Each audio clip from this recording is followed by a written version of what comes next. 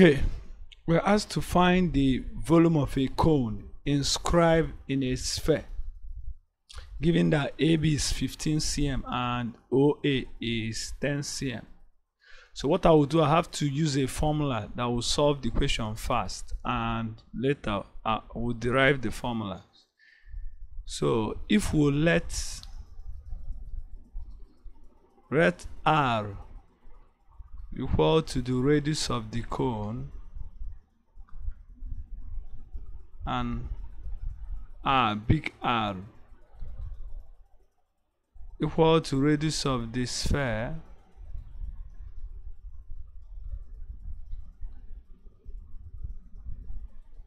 and h equals to height of the cone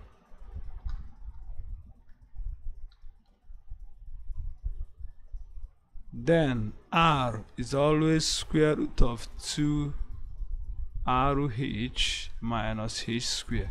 So i'm saying that if you are to find the radius of the cone is always square root of 2 times the radius of the sphere times the height minus height square. That's height of the cone. So that's the formula for the radius of the cone therefore the volume of the cone now we know volume of a cone is always 1 over 3 pi r square h. Yes why r is the radius of the cone? H is the height of the cone. So if we now substitute this as that we have that we have 1 over 3 pi r squared is now 2 r h minus h squared times h. So which is now equal to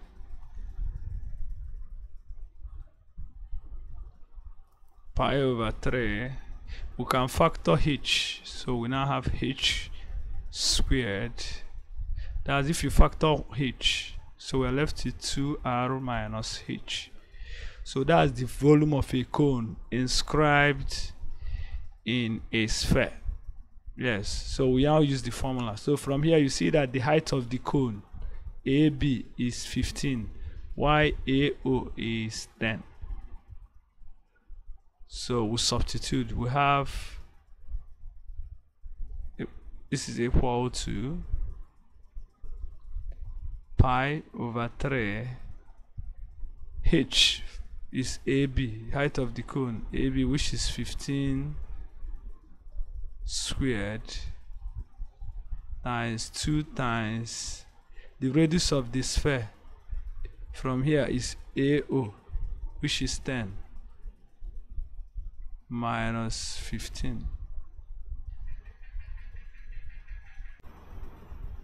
so 20 minus 15 is 5 15 is 15 squared is 15 times 15 so 3 in 15 is 5 5 times 15 is 75 so we have 75 pi times 5 which is 375 pi. So our answer is option A. So let me now show you how the radius of the cone is equal to the square root of 2 times the radius of the sphere times the height of the cone minus height of the cone square. Let me now prove this formula. Okay, look at this cone, that same cone. So we are given this. We want to get the expression for the radius of the cone given the radius of the sphere and the height of the cone. So if we call AO the radius of the sphere which is big letter R as used before in the other question. And we'll call okay let's this be BC let's call BC small letter R. I know this is perpendicular to that because it passes through the center. So again we can join O to C which is also the radius of the sphere. So if we join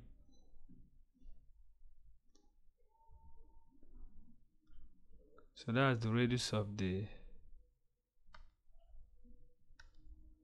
that was also the radius of the sphere which is small which is r big letter r. So these are radius. So remember i told you let a b be the height of the cone. So meaning that ob will now be h minus r do you get i told you ab is the height of the cone which is h. So see what i'm saying? Let me now write fully. So that if let r be radius of the sphere radius of the sphere small r radius of the cone and h the height of the cone so in triangle OBC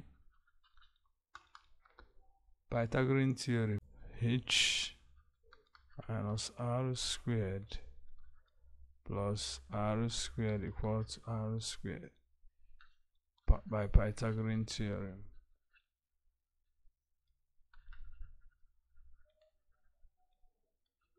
So if you expand this, we have h squared minus 2rh plus r squared plus r squared equal to r squared. So r squared is here. So r squared, r squared. So making this r squared now, which implies that r squared is now 2rh minus h squared. So that's it.